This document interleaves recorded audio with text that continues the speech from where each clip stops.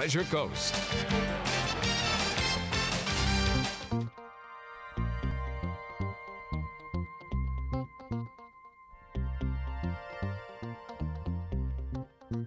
The views expressed on the following program are not necessarily those of WPSL. However, you're encouraged to like and share them on Facebook. Put on your thinking caps because you're going to be challenged tonight to think. You're going to need it because it's time for the African American scene brought to you by Howard Insurance. Undergoing under uh, open enrollment right now. We'll give you a number a little later on in the show to call. But right now, here's the host of this awesome show, the one and only Rudy Howard. Good evening, good evening, good evening. Always glad to be with you here on a Wednesday night. Well, fans, we're down to the last couple of weeks. Election will be a week from next Tuesday. So uh, I, for one, like many of you, will be glad when this is over. This has just been really, really, really, really, really rough. Well, in any event, tonight I'm going to have it wide open. You can call up and ask any question you want to ha- ask and uh, bring up any topic you want to bring up, and I will be glad to engage you. And if you have Medicare questions, you can call up and ask me about those as well. Uh, so we're leaving this wide open for you. But I, am gonna I'm gonna tell you. Did you hear about the Proud Boys? Have been in uh, I think it's Brevard County. I'm not sure where the other county is. Sending people messages that if President Trump gets defeated, there's going to be issues. One of the things that, that I've been hearing, and I kind of dismissed it, but I'm starting to think that it's probably true, more true than not true, is that period of time from the election until the inauguration is going to be a very uh, chaotic, uh, the potential to be a very cha- chaotic period of time. Uh, because some people will uh, not want to accept the outcome. But you know, I talked about this last week, and and I'm going to say it again. First off, what's up? A lot of you don't understand is uh, black people as a whole are pretty conservative. What makes them not support the Republican Party is the social aspects that go to the extreme, which they just can't support. You know, even though they may agree with half of the positions that you you take.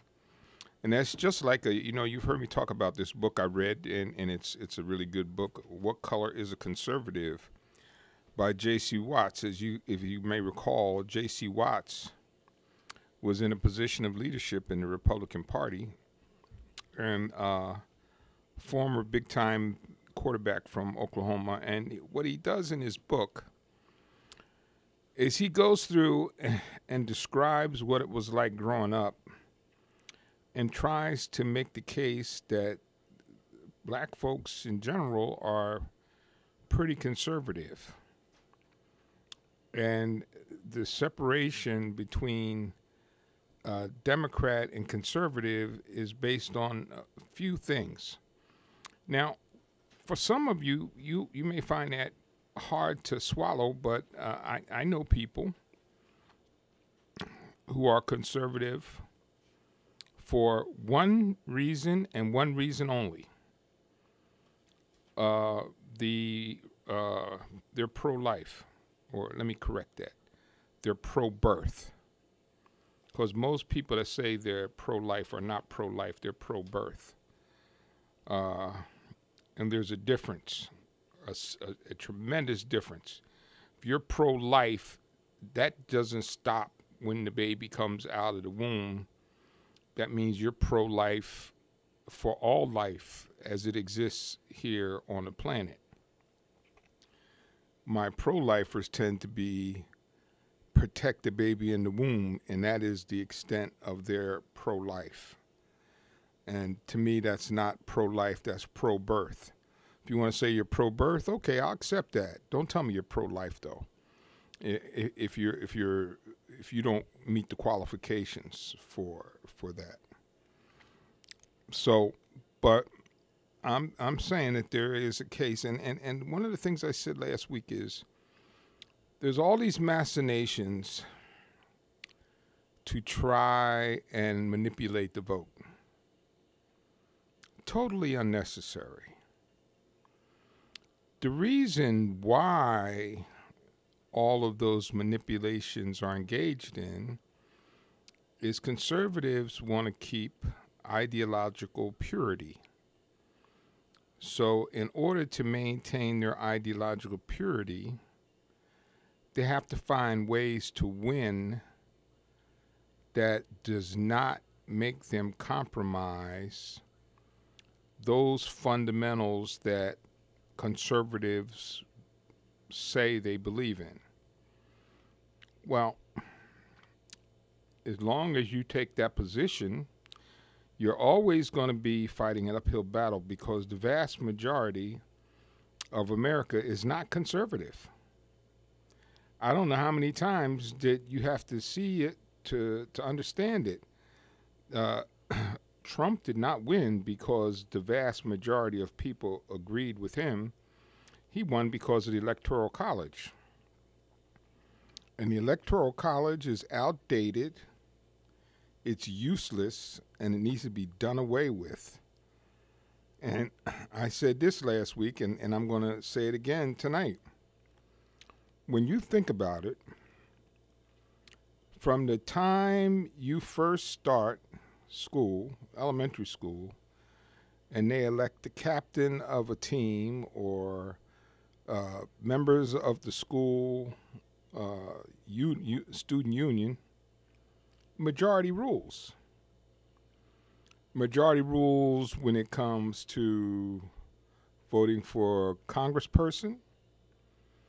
Uh, majority rules when it comes to voting for a senator.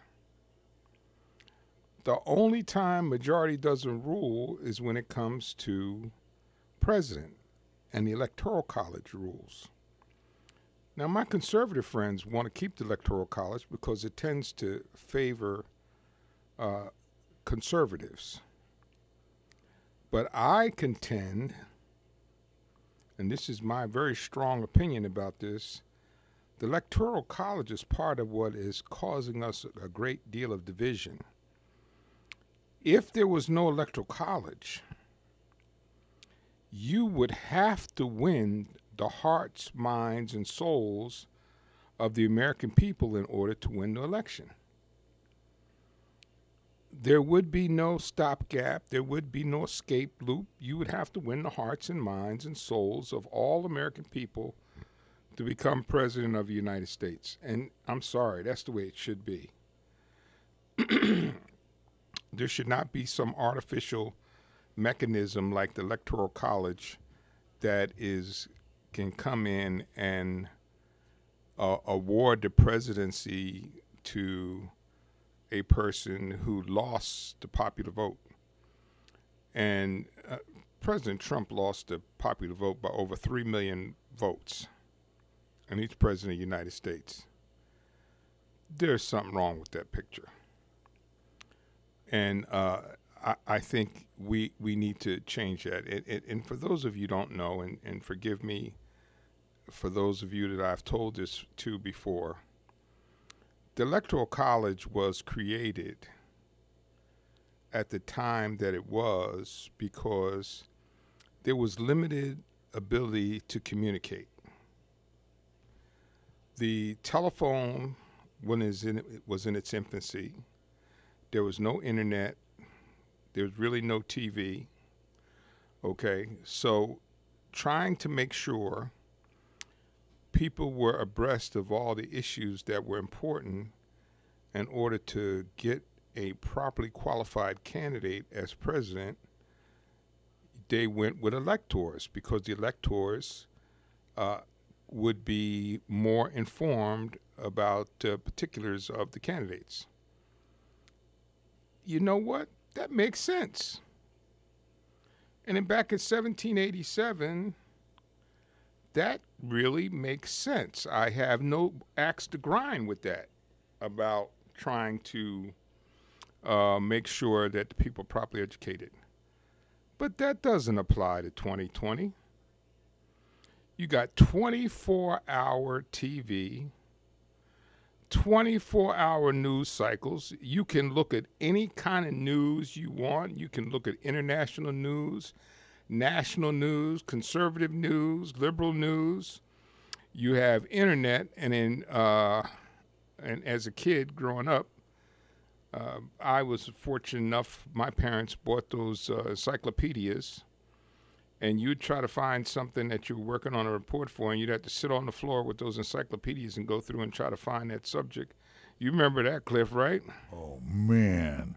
And you know, you you had to you you had to to rewrite your report. You couldn't word for word what you were looking up in the encyclopedia because they they'd know the teachers would know. That's exactly right. Yep.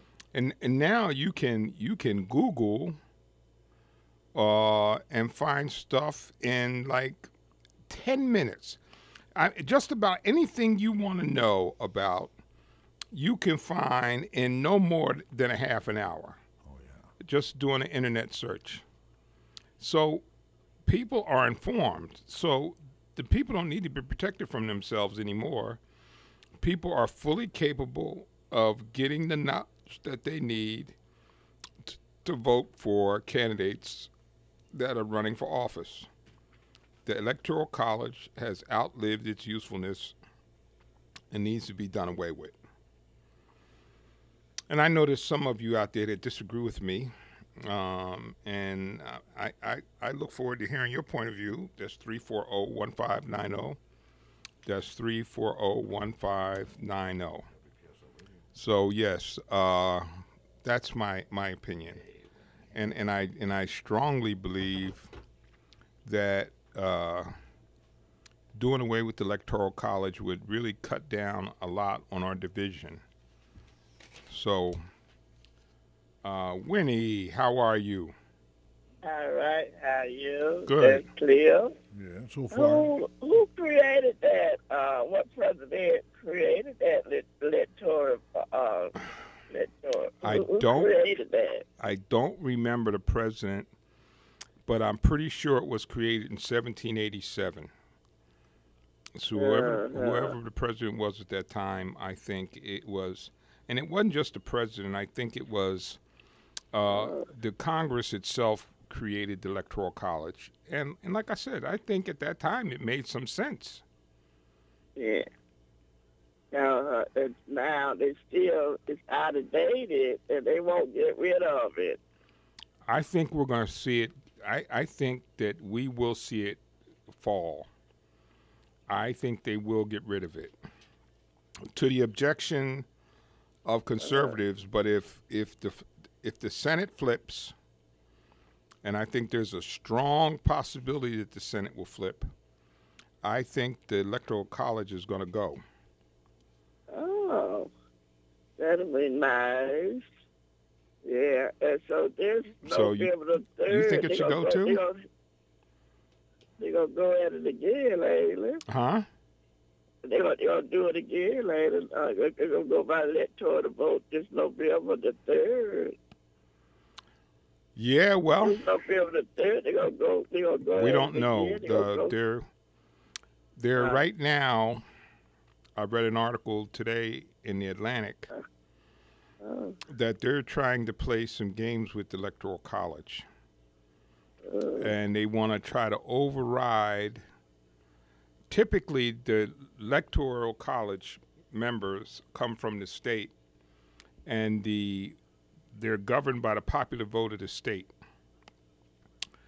Now, in the event that uh, there's a dispute about the popular vote in the state, the uh, state government has right to appoint electors, which we have not seen done.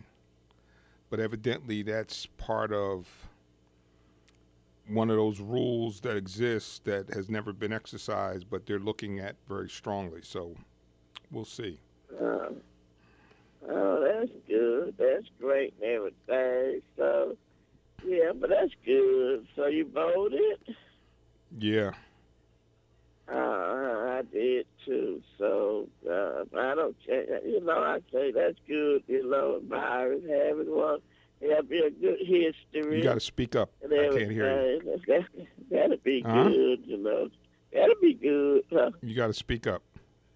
Oh, about Harris win. That'd be good, you know. Uh, a bit history, hi- historical and everything. Oh, they they put out a debate tomorrow. Yes, they're going to have a debate tomorrow. Debate t- tomorrow. Uh, we'll be talking. Have a good night. Okay, thank you. Take Bye. care. Bye bye. And Trump's already complaining about debate tomorrow night because the moderator is going to have the ability to shut his mic off. Oh, that's a cool ability for somebody to get to do, you know, because because I get to do it. I get to do it all the time on this show. I know you do, yeah. But in all fairness, if somebody hits you with a question and they don't let you answer it, that's about as rude as a human being can despicably get. Yeah. Ask a question and don't give you the chance to answer. That's and and I thought when when they they were talking about putting that kill switch in there, and I thought I could do that. you know, I've had experience at it. Yeah. Well, I- I think, you know, one of the things that uh, I have discovered in the last three and a half years, and it started when I read that book about understanding the comp- Constitution by Kim Wehle, who's a, uh, a legal professor. So many of the things that we thought were laws were not laws, they were norms that every president, every Congress, every Senate, every House, and every Senate had agreed to. And some of them have been in effect for a hundred years.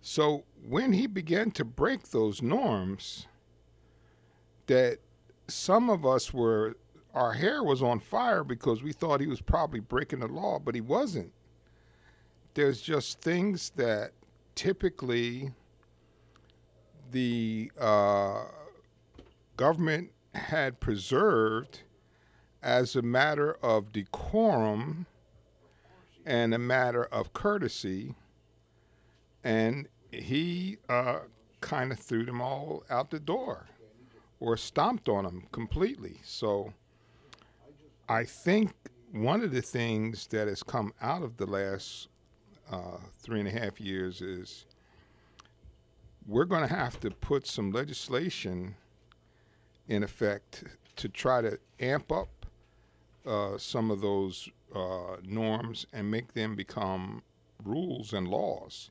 And we got Jeff on line one. Yes, sir.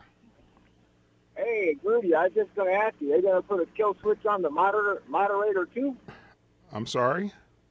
They're going to put a kill switch on the moderator too? Why would they put a kill switch on the moderator? I don't know, but that lady wouldn't let Ed Trump answer uh, any customer, any person. I'm sorry? Sitting there interrupting him the whole time. The last thing that they had, that town hall meeting, Oh, maybe they need to put a monitor, put a uh, what do you call it on the monitor? Uh, well, it seems to Jeff, I don't know what debate you were looking at, way. but the monitor uh, supposed to lean anyway. I like the Jeff Dunham. Rudy, I got one question to you. You said something earlier about the black people, you know, doing this and doing that. I think I need. Why would somebody vote for a guy that says this? Exactly what he says. If you don't vote for me, you're not black. I cannot believe that, that you stereotype you. Oh no, no, no! That is the wrong thing to do. That was the wrong thing to say. all. I'll say that. Man, that's It's that's an like- assumption. Woo! Don't say something like that. Even I know better than that. I'm sort of stupid. Okay. But anyway, have a great night. I just wanted to call and ask you about that because you know you talk about putting a kill switch on somebody. That maybe they should put one on the monitors, uh, guys that handling the debate because they seem to flap their jaws just as much as everybody. No, I don't think so. I, I think Chris Wallace is, uh, of all the people on Fox, uh, he's pretty much down the middle guy. Uh, I don't agree with him all the time, but he's as close to down the middle as as anybody on on that particular uh, channel. So I don't think now you you You you can't agree with everybody all the time, or we wouldn't have a thing. And I always thought that electoral college was put into place because a bunch of farmers out in Wisconsin, who probably consist of one third of the of one hundredth of a, a percentage of the vote, wouldn't have an equal say versus a big city like New York or San Francisco or Chicago. no, that, but that's that not run why. that- That city is pretty much going to have the word because obviously they're closer and low. You know, you know, I don't know. No, But it- it- but uh, listen, you we at that point came up last week, and, and I'm going to tell you, you can easily solve that problem. Every time you talk about the electoral college, people talk about California and New York. It's easy to fix the problem. Easy. Come up with a platform and ideas that appeal to everybody. Then you'll get everybody's vote. If you No, don't, you you could do it. that's mission impossible. There, Jesus Christ had a problem doing that. Uh, no, you could you you could do you could do that. You could oh, listen when when the Damn, why am I Democrats when when the, when the when the Democrats when the black people went from Republican to Democrat, it's because the Democrats figured out in order to get the support of black people, they had to modify their position, and they did and the the Dixiecrats that were left ran over to the Republican Party. You, it can be fixed, and and and I'm so- saying, and I'm saying to you, and I believe this from the bottom of my heart, you would create more unity by eliminating the electoral college because then people would have to speak to everybody. The way it is now, you don't have to speak to everybody. Hmm. Can Well- you can you see that? well, I sort of see what you're saying. I mean, I give you credit on that one. Yeah, you're you're, you're in the ballpark. Okay. But, Thank you thank know, you. No, there's no problem. Rudy, you're a good man. I I I, I listen to you constantly, but uh, I just don't agree with some of the things you say, and it gets you know a little. I just, you know, everybody seems to think that the black person should be a Democrat. Why do they need to be a Democrat, or why should they be a Democrat, or why should people be assuming they're a Democrat? Because they're not given the opportunity to choose themselves, or they choose themselves, but they're just so used to being Democrats. But has the Democratic Party done anything for the black man in the last 20 years? Oh, sure, for sure. Have they? I mean, I, don't, I don't know. I'm, I'm just asking you straight up. Can you tell me something that they've done? Because Joe Biden voted against a lot of stuff that was for the black people, and I don't understand. Again, if he voted against the civil rights bill, even if it was back in the day, I, I, I'm sorry. If, if we go back in the day, you know, everybody gets held accountable for, you know. But I'm just saying, you know, if he did all that, I mean, hmm, I, I I would consider somebody else other than Joe Biden. He scares the living hell out of me. Oh, why are you afraid of Joe Biden? Are you kidding me? He's as he eh, he's a- eh, look. He people- is a wolf in sheepskin clothing, my friend. He is a well, what what what are you what are you what are you what are you afraid of? You are you afraid that he's too Well, liberal? first of all, him him taking all that money. Why was he him and his son taking all that money from Joe countries? Biden didn't take the money. There's no proof that he took any money from Sure, anybody. he didn't. He did. His son did, and his son gives some of it to his dad. Rudy, put it down on black and white on paper. How many homes does this man own? How many million plus dollar properties does he own on a hundred and eighty-five thousand dollar a year senator's salary? and probably a few extra little bonuses he picks up here and there. But think about, you know, some of his property very, very lavish. For the last eight And ye- a- the, at the eight know- years, he was he was uh he was vice president. He was making a couple hundred thousand dollars a year. Rudy, you make more money than that, and look, look around. Well, You know- I, I wish that was true, but okay, Oh, Rudy, talking to the okay. But it, Hey, anyway, but it, the, the, the, the point of the the point of the matter is that I have said, if you've listened to me for any length of time, I have said on here for the, almost the whole nine years that I've been on this show, doing this show, that Republicans could win black people's support if they wouldn't do the stu- stupid stuff.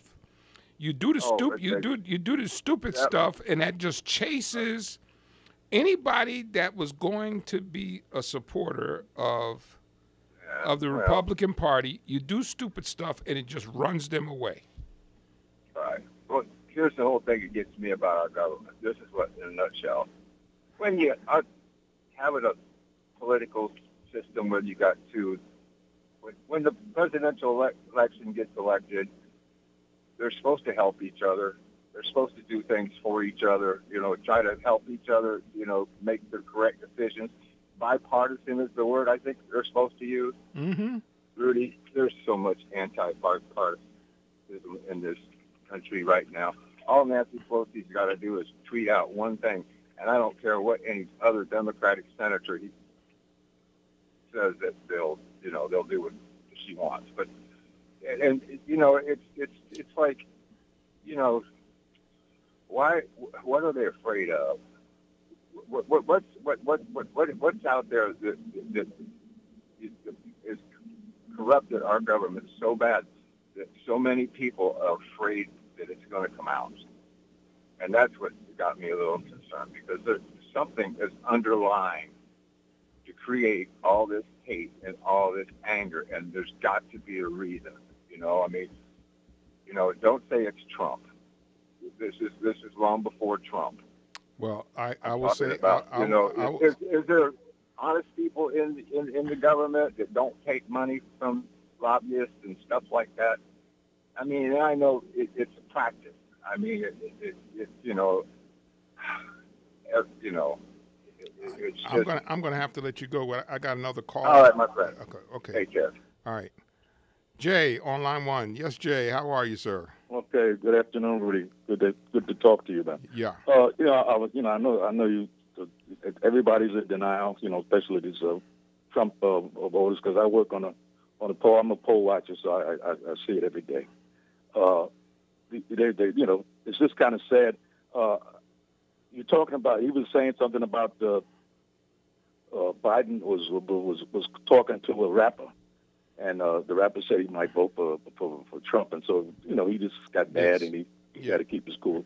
But you know, I hear Trump say all the time when he gets around, like he said, "What the hell do you have to lose?" you know, what what do you black people have? What do you have to lose? You vote for me. He said, "You ain't got nothing anyway. You don't have no job. You don't have no, you know, uh, you know, you, you don't have no education. You don't have nothing. So you, you, you know, you don't have nothing to lose. You might as well vote for me." He says that every time he gets around a group about black people. But this character that you just had on, he wouldn't repeat that. Yeah, he he wouldn't repeat that with you know his what his God had to had to say, what Trump had to say. And the other thing is with all these so-called Christians, I heard today that 540, 545 children have been separated from their parents, and, they, and the parents don't even know where their kids are. These are the these are the people from uh, from from south of the border, the Mexicans that would came coming over here looking for uh, you know looking to get away from violence and everything else. And so they so what Trump did to uh, to intimidate them from trying to come across the border. Well, we just take the kids away. Him and, and, and so-called General Kelly. Now, this is a guy that was a general in the Marine Corps, I believe, uh, leading me, leading thousands of men before he before he retired and went to you know join up with uh, with, with Trump, and he went along with this crap. He was his chief of staff when when it all started. And Stephen Miller, he's a, he's one of the white supremacists in the group. So he got he's got a real uh, motley crew there around him, you know. And then you got Barr now. Barr is like uh he's like the Third Reich. He's like the SS. You know, he's like the one of the you know like I was watching a German movie the other night on on on on, on TV, and it, it reminded me of Barr when I was watching the SS breaking into uh, the German you know Jewish people's houses in Germany during World War II. And it just it just like it was like happening right now it was as as was happening then. It's almost the same repeat, same mindset and it goes on. But yes, these are the people. These are the people they want in office, and you know they they're just trying to you know they they see that the country is changing. They don't want to see this change, so uh, they're coming out of the woodwork. They're crawling from underneath that rock, and uh, we got to learn how to deal with it. Well, I, I think that's, that's, I, I think part part of part of it, Jay, is yeah. I think there's a natural fear mm-hmm. of change and and uh, I I think that's natural. It's like like it's like you know when we were kids and you played King of the Mountain, and when you were on top of the mountain and people trying to get up the mountain, you know you didn't want to give up the top of the mountain without uh, a scuffle. Well, I I, I kind of understand. I'm not excusing it, but I kind of understand that there is apprehension about seeing the country change. And there's nothing they can do about it. Nothing. No, nothing at all. No. Be, because it, in 2012, I just heard this statistic the other day mm-hmm. 70% of the electorate was white. In 2020, 68% of the electorate is white. And it's going to go down, down, down. Now, in my humble opinion, what people should be trying to do is to do what you and I grew up had to do mm-hmm. is figure out how I can be comfortable dealing with people who are different than me. Right. Not not, not hard. Just first off, and and and uh, uh, Cliff will tell you, I've said this probably a thousand times, and you've probably heard me. If you get to know somebody that's different than you on a personal basis, more often than not, it will change some of your mindset uh, if you allow that to be the governing factor rather than other people who are influencing you in your thinking. Yeah. Right. If you're a reasonable, intelligent individual, and I know that's asking a lot for some people, mm-hmm. but and you get to know somebody that's different than you, and you say, "Okay, listen." Just like you, pro- like when you were in Nam, like when I went to when I went to college, I had a white mm-hmm. roommate. I had never had a white roommate before, mm-hmm. and so I had to he and I had to figure out who we were. We both came from different backgrounds. And uh, my first one I didn't get along with at all. And then my other roommate, I loved to death. I thought he was a fantastic guy. And that was an education for me. I got a chance to know somebody that was different than me. And it changed, it had a, a profound impact on my own thinking. Yeah. So you you you know my change came when I like you said when I was drafted and went into service. That kind of opened my eyes because then I was dealing with folks, you know, people. Uh, as a matter of fact, you know the drill the drills. You know when I was going for the training, the drill sergeant at those days, most of them guys were Southerners. They were from like Texas or wherever else. Yeah, that's right. You know, Alabama. So they didn't. You know they still had you know, they still had that thing in them, you know, that, uh, you know, that the, they could talk to black, you know, black people the way they, you know, any way they want. And so being a drill sergeant, I even amplified with it, you know, gave him more, you know, gave him more uh, authority, you know. So they they were just getting off and calling us all kind of, you know, names from, especially if you're from the city, any big city like Detroit, New York, oh, or whatever. Oh man, they used to rag us to death, you know. But I learned how to deal with it. I learned how to because I knew I had to just, you know, keep them out so I couldn't say nothing. So I, and then after a while, once I got beyond that, and I start and I understood them. As a matter of fact, one of the drill the drill sergeant kept me, you know, because I had to wait for my orders it kept me about three weeks after, you know, I was left and I was there help. I was like an assistant. And so he kind of like, he, you know, he just liked the way I was, that I caught on and how quick I was able to adapt. And he said, you know, you can be a drill. I said, no, I don't want no part of being a drill sergeant. I want to move on and go to tech school, you know, where I was supposed to go. Yeah. communication. So he started laughing at me. You don't start laughing. He said, "You don't want no parts of this." I said, "No, sir." So, but that was my start of really getting myself together, learning how to deal with different races and different people, especially Southerners. And uh, that was that was that was my uh, initiation. And and uh, from that point on, I just whatever job I had, I just know how to deal with them. I just knew how. Exactly how to operate and and not get myself frustrated on, with nonsense. You have to. You ha- Yeah. when when you are like you and I, who had to transition into Yeah. that world in order Yeah. to be successful, you had to learn how. Yeah. Uh, You know, and and I bet you you'd find a difficult time. I had one guy on here a few weeks ago who went to work at a black college in Ohio, but generally speaking, white guys don't have to go to an environment where it's all black people and learn how to adjust to be able to get along. Unless if they're going to learn how to cook. Right. but anyway, well, well, th- thank you, Jay. Always good to Okay, hear from appreciate you. it. Yeah. Thanks a lot. You know, uh, come to come to think about it, you know, uh, I I think back, and, and I know you'll remember this. So often they they say, you know, why black people need to pick themselves up by their bootstraps. Well, heck, man, when we were growing up, all the cooks, all the waiters, and were at the at the fancy clubs. Who were they, Cliff? Ooh. They were the successful black people. That's right.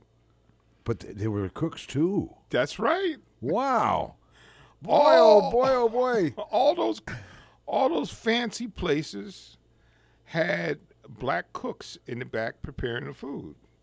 They're all gone now. Well, Gordon Ramsay kind of.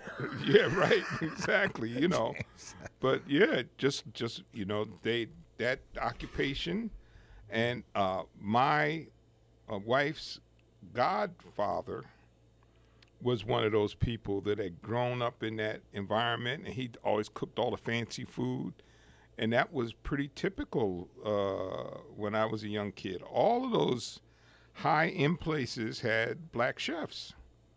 Most people don't even know that. And and most of the waiters at those high end places were all black. But now when once it got clear that they could make a lot of money doing it, what happened, Cliff? Well, they they they didn't fit into that stereotypical mindset that people put them in, because, well, they're, they're starting to make some money now. Uh, I was just wondering, how do we explain Rudy? Rudy makes good money. Rudy Rudy's an insurance agent, you know, and and if they say black people don't raise their kids, that what happened to Rudy? Rudy was a very successful father, grew, uh, raised a, a, a man, a young man who's out there now, and he's making a difference. You know what it is, Rudy, is we confine ourselves to our box, to our comfort zones. Yes. We build hedges around ourselves and our families and everything, and we think we're protecting them from what? Well, look at all the racism that's been out there. Is there rep- retribution for it out there? Some there's a little bit. There's a lot of folks that are still pretty angry about that.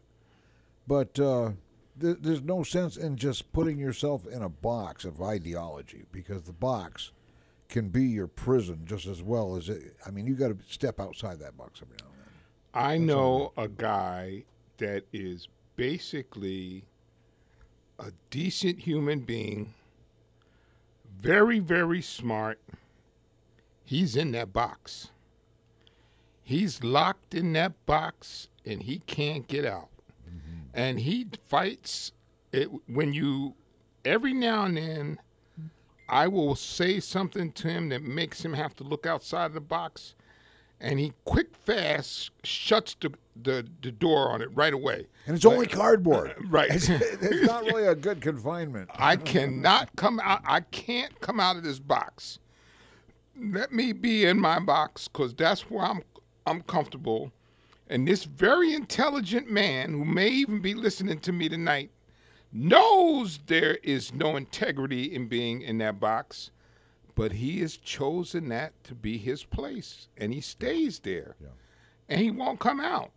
Even when you hit him with all kinds of information that shows him that what thinking that he has is faulty.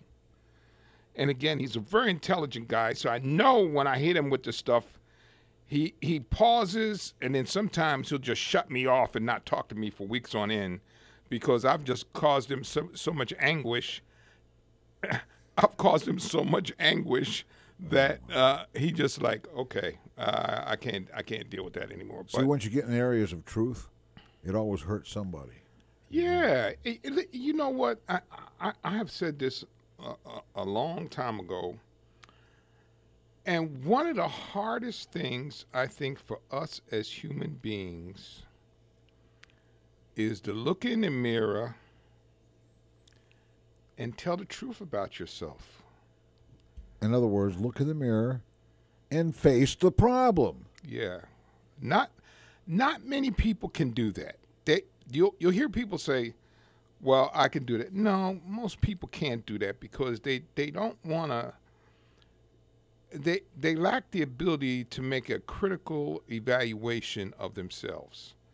Uh, to be able to say, you know, I'm pretty crappy at this, or I I know I need to improve that. That we tend to try to avoid those things.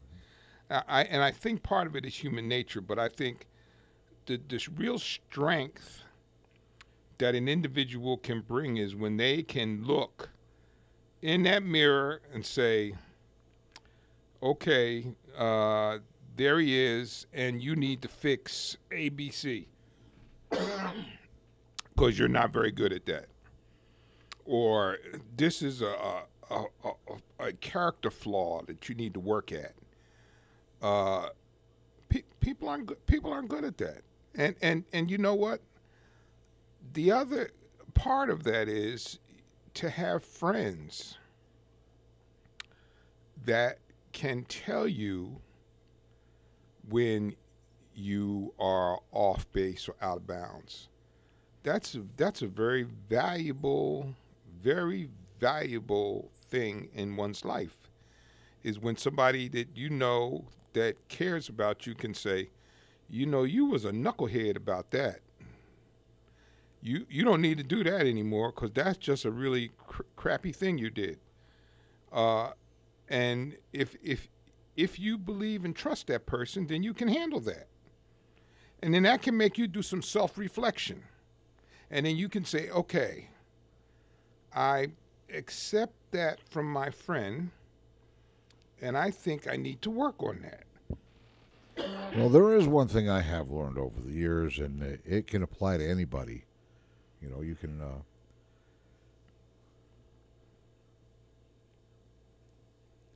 I, I get. I had this. I had this. This. This thought that just slipped on me. I hate it when that happens, but uh, you know, we're always we're, we're refusing to look in the mirror to see the problem because we think too highly of ourselves and we're always right and everybody else is always wrong. And and that's that's the box mentality because if you look carefully at the box, you'll notice that you're confined within. I mean, you can't get out. And uh, now some people couldn't beat them beat their way out of a wet paper bag. Uh, a, cardboard box is not much different. I mean, and uh, if that's what, what you're in, and that hedge that you build, it's too high. You you make it so high that your own kids can't come through it for you sometimes. And sometimes it's that way with people. Families, look what happens when the parents pass away. A lot of families just go to, I mean, they, they, they fly south and don't come back. They, they're, uh, they split up most of the time afterwards. And it's all over little piddly things that they don't want to, you know, give up on their thought about. Uh, mine, mine, mine, mine, mine. Have you ever heard that before? yes. I want mine. I want what's coming to me. You, do you really want what's coming to you? Well, let me tell you this: you deserve whatever's coming to you. You'll get what's coming to you. Trust me. yeah. Well, you know, it, uh, unfortunately, I've I've seen families break up over things. That's yeah. uh, that's really, really, really unfortunate. Yeah. But but yeah, and and you know. Uh, there is no reason for that because, after all, they're things. And you know, uh, how valuable was your sister or brother if you let the things be the thing that allowed y'all to get separated? Doesn't make a lot of doesn't make a lot of sense, really. But I like what you said about the mirror guy, the guy in the mirror, yeah, because you know if we every once in a while when we're in the mirror instead of uh, admiring our good looks and things like that, we need to look into our own eyes and, and see what Ab- we're absolutely. because that, that's where a lot of the problems lie. And and I've noticed that with the drama that goes on with people, some people just need drama to survive, and they conjure things up in their mind just to have some drama. And and there's a lot of that that's way out of uh, way out of line Yeah, because you know what happens is everybody flows together. They all roll with the flow, and that's what they want everybody to do around them. And uh, and everybody doesn't roll with the flow. Some uh, some of those wheels are different shapes, like square wheels. They don't go as fast as the round ones. the absolutely. triangle wheels, and everybody's got their own wheel, but but still, we're all going in the same direction. Well, what, what right. we have to do is we we need to learn how to, you know, to help the guy next us having trouble with steering, reach over there and grab that steering wheel on either side. Do a little bit of, of, of help. No, real help, not just telling everybody what they should think, but you show. Here, here's that thought that I lost a while ago. You know, when you when you stop and, and you stop and think, and you and you look at yourself and consider yourself as possibly the problem. You might think that you have to change everybody. Remember this: you cannot change anybody, but you can change yourself. Yes. And that's the key. Change is the key. That's why they're afraid of change, because the box is going to melt away. They're not going to be confined anymore. And you know what? Uh, I think snookhead soup is delicious. That's soul food. And I kid you not, I have never eaten anything that good before. I don't know if you've ever tried it. I don't know if it's an ingredient in there or what, but there's something euphoric about it. Were you talking about Mm-hmm. sow soup? I'm talking about snookhead soup. Oh, oh, snookhead soup. Okay. Yeah, yeah. Uh, well, you see, in, in, in part of my growth, I, I bought a house years ago, right next to a very popular uh, uh, black guy in our community. And you know, I'd sit and talk with him. I always loved talking to old black guys. It, it's always been my favorite thing to do. And when I'd sit and talk with this guy, one day he says, "You know what? I'm gonna I'm gonna show you something, and you're gonna love me. You're gonna want to marry me after you taste this stuff." And I said, "Yeah, yeah, yeah. What is it? Snookhead soup? Snookhead? Oh, come on. I'll be darned if it wasn't amazing. And I don't I don't know anybody that's had it that doesn't like it. And and most people would go, "Ew, snookhead soup. What are you talking about?" Laugh. But you'll be surprised. don't be don't be afraid of of other cultures and the things that they cook because sometimes you'll taste something you've never tasted before. I fortunately I, I kind of grew up in a household where uh, my father pretty much made you try stuff. You couldn't say Yeah, right. You couldn't say you didn't like it if you didn't try it. You have to have a little bit. Uh, yeah, and then and I did the same thing with my son. and my son is not a picky eater. He will try almost anything Yeah. because he was just not, you know, kids now, you put the stuff down and you put it in front of them and they go, I'm not going to eat that. And you go, well, why? Because I don't like it. Well, They've how, never you, how do you know Yeah. you don't like it? They You didn't, even, you, didn't, you didn't taste it. You know, I, I never allowed him to do that. And, and you know, I know parents that, that do that, and it's wrong. It is, and I'm going to say, thi- this is a, this is not uh, uh, uh, just an opinion. That is absolutely wrong. To you stand up there and prepare a meal, sit it down in front of your kid, and they take a look at it and say, "I'm not going to eat that." That's ridiculous. That that is absolutely ridiculous. Now, if they and here was my my always my thing with with with my son. If you taste it and you don't like it, that's okay. I, I can I can deal with that. But to- right. You to- just look at it to and look at it yeah. and say I'm not going to eat it. No, that's not. That's not. Well, that's what's going on in society. Somebody's going to look at me and they're going to say, "I'm not going to talk to him. I don't. I don't like the way he looks."